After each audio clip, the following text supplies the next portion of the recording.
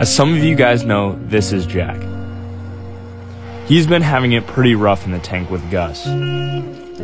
But this new home wasn't going to be a new tank.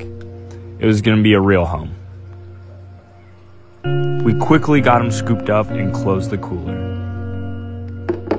And here is his brand new home. It's going to be perfect for him. The first thing we needed to do was acclimate him to the new water he was going to be in, and we got to doing that. And when we were scooping up, we found this little guy, so at least we're to know he's to have some food.